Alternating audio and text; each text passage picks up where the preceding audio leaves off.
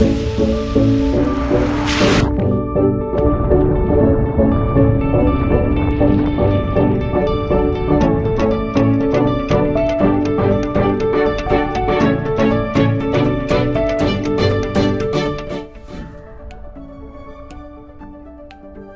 eh...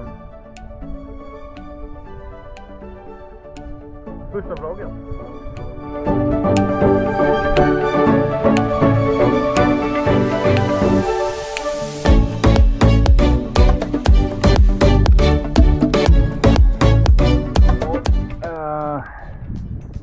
Inte riktigt som jag hade hoppats på. Som ni ser på video. Men det rullar lite gammal sjö här från igår. Men så fort vi rundar udden som ligger där.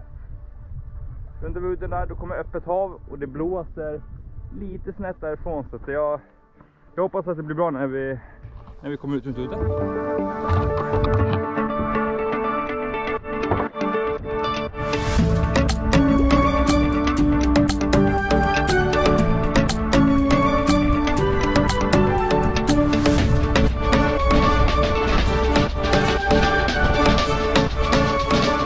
Därifrån kommer blåsten. Det blåser ändå okej.